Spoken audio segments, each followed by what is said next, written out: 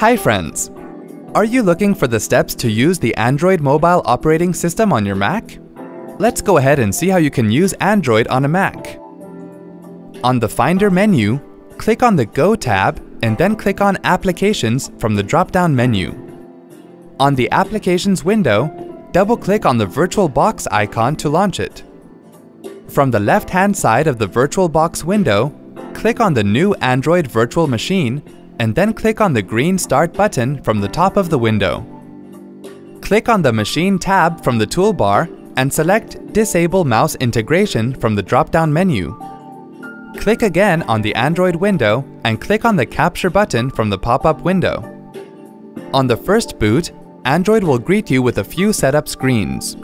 Follow the prompts on these screens to set up your language settings, time zone,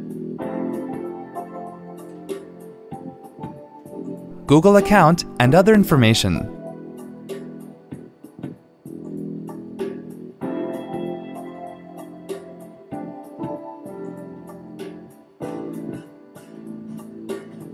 Once done, you are ready to enjoy using Android on your Mac. See? That wasn't hard at all. Thanks for watching. For more details, click on the eye icon on the top right of the video. Check out our iYogi channel for self-help videos on Windows, Mac, smartphones, security, social media, and much more.